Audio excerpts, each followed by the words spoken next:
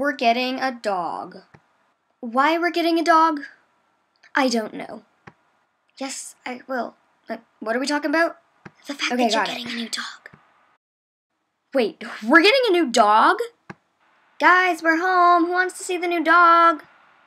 Boy, have I missed watching Doctor Who. Oh, hello. You must be the new dog. Well, I guess you can stay, but only if you want to watch Doctor Who.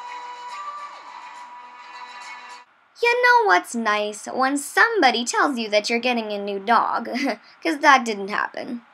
Okay, so this is our new dog. She's cute, but what's her name? Uh, no name yet. I wanted to wait until we could name her together. And where's Sophie?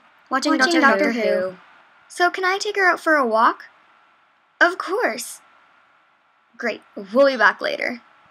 Dogs are cute, right? She she's cute.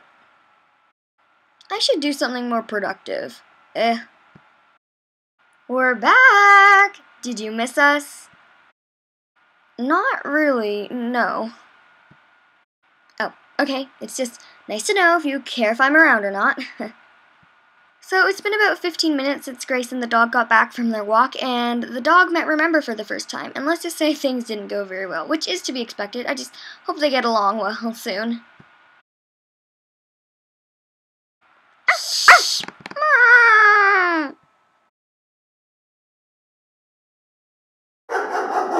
No, stop, stop!